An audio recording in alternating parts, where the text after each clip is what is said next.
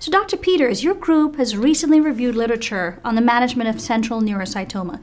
Can you tell us a little bit more about how common this disease entity is and how it behaves clinically? Yes. So, central neurocytoma is a rare primary brain tumor, and it really only represents about 1 to 3% of all primary brain tumors. It tends to occur um, within the um, spaces of the brain, the ventricles, um, and these tumors can um, get quite large in those spaces. It occurs in adults and um, can have varying amounts of atypia associated with it. What is the standard approach to managing these patients? The problem is because it's so rare, there is no standard approach. Um, routinely, the surgery is performed. Unfortunately, because of the structure of the tumors and the location, um, they're very difficult to take out completely because it's within the ventricular system.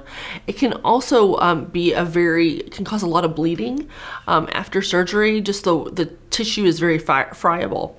Um, so what the standard approach has been surgery, and if there's a high amount of atypia, to to actually give radiation to those patients. Is there a role for chemotherapy in these patients? So that's what we explored in a retrospective analysis because um, we used temozolomide, which is an alkylating agent that's also a radiation sensitizer um, in our patient population. And what we found was that it was safe. We had great outcomes, and really there was we had prolonged. Um, um overall survival in our patient cohort, and they also tolerated therapy very well.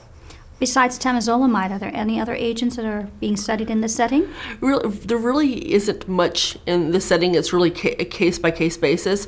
And so that's why it was so important to put this in the literature. We need to study those rare diseases. Absolutely. And based on your expert opinion, does chemotherapy then appear to be helpful in the treatment of neurocytoma? Yes, definitely. We for, for this, this cohort that we had, it did show that it was safe and effective. That's wonderful to hear. Thank you so much for the great work you're doing. Thank you.